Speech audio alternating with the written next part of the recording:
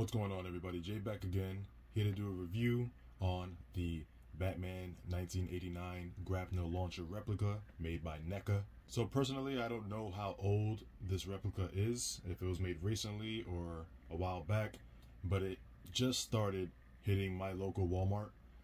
So I thought I'd grab it. You know, I looked up a video beforehand to see if it was good enough to buy, and as you can see, it was since I have it here.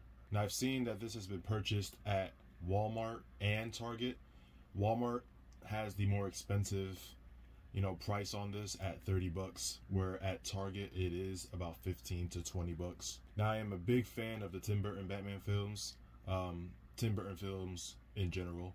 Um, so I had to bring this into my collection, give you guys a review on this, give you guys my personal opinion on it, and as I open this for the first time, you know, I will be reacting with you guys unless you have seen someone else unbox this launcher.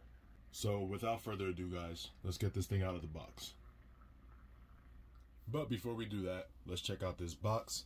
We have Batman logo right there, Batman 89, Grapnel launcher replica. We have the launcher right there, right on top. Same thing with the actual Batman. See if we can focus on that. Come on. Right there, Batman logo. The side, same thing, Batman logo. And on the back, it shows the functionalities. We got the handle that unfolds right there. We have the actual launcher here. We got the trigger right here. And the button on top retracts to grapnel. Now, let's get it out of the box. All right, guys, and here we have the Batman 89 grapnel launcher replica so I've watched other videos of people doing reviews on this, and you know I was a little iffy. Like it looks amazing. I was a bit iffy on the size of it, but after rewatching the movie, this is pretty much at least 99% accurate um, to the grapnel launcher that is actually used in Batman 89. Now, yes, I am saying 99% accurate. That is because it is not 100% accurate close enough, you know. Um, but there are about one or two things that they could have done different um, to actually make this 100% accurate to the Batman 89 film. Alright, guys, let's start off with the actual look of the grapnel. Again, 99% accurate to the film. The gold paint right here is actually pretty accurate. I would say it's not that shiny, but it is definitely gold. This part right here is accurate. Now, like I said, 99% because this actually detaches. Again, that would probably be a little more money, make this more expensive. You're getting a good price on this, so this does not detach at all. I do like the detail in this part right here, as you can see. It is, you know, metal lining right there to make it look like the string is actually metal um, that comes out right here. Um, that's actually pretty cool. It's just actually painted. Um, as you can see right there, mine has a paint scruff, but that's not a big deal at all. Pretty cool right there. I actually like that.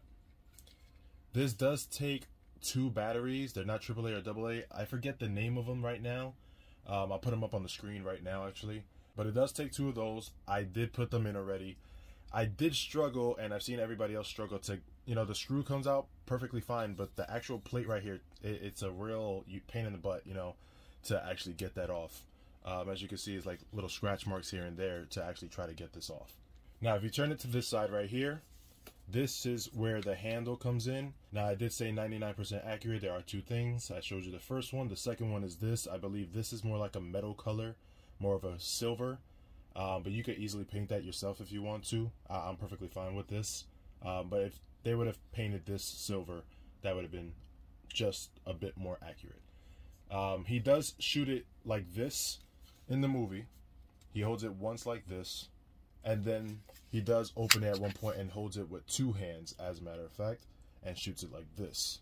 And I actually think that's a cool feature that they added, you know, putting it here, here.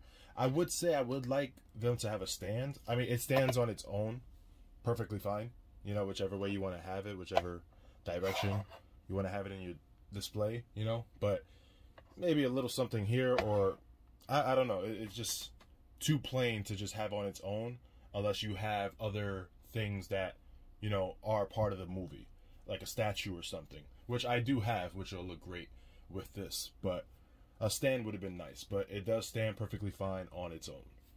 Now, as you can see right here, the hook, nice chrome looking gold. It does show your fingerprints, but that's nothing. You just want to keep it clean, just clean it off yourself. Um, now, let's get to the features right here. This is where the trigger is. You just simply pull that and it shoots out. I've seen in other videos that it shoots pretty far. I would like to see how far it does shoot on my own. And right here on top, after you shoot it, this is where you retract the grapnel. That's why you need the batteries. All right, so I'm gonna shoot once and see how far that goes. And then I will try to angle it so that you guys can actually see how far it goes. So here we go. Try to focus, there we go. Whoa. Okay, guys. Hold on one second. What just happened? It is stuck over here. Okay. Guys, that flew. Whoa. Okay. So, it, it's pretty long. As you can see, it's just still going. There we go. This is just a plain, you know, gray plastic, which is not too bad, you know. Um, wow, that I'm so, I'm sorry. I'm just still shocked of how fast that went. And again, here we go to retract it. You press this button here. Reeling it in. And then it stops here. And then you can go here. When you go here, it doesn't go all the way. You simply have to, you know, align it and just press it in. Let me see if I can get a better angle so that you guys can see how far and how fast this thing actually launches. Alright guys, so right over there I have a Shazam Funko Pop. I'm about I would say two feet away. You know, I want to see if that's the length pretty much of this grapnel. So I'm going to press the button, see if I can hit him, and see what happens. All right, and then of course just reel it back in.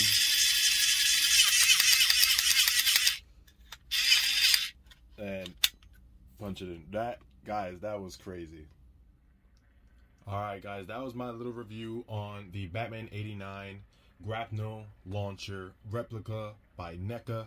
And I'm not gonna lie, this is one of my favorite items that I do now own of Batman 89.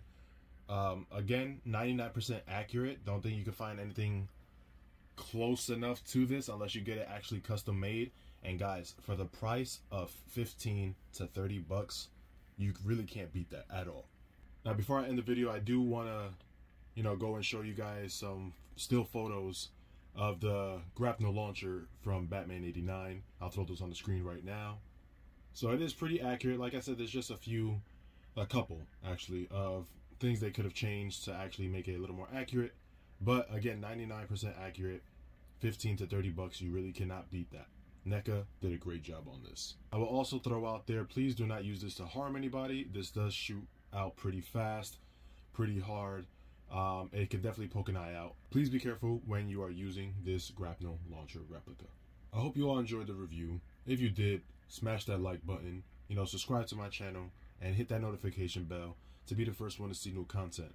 I want you all to stay safe, stay clean, stay healthy, and I will catch you guys on the next video. Peace out.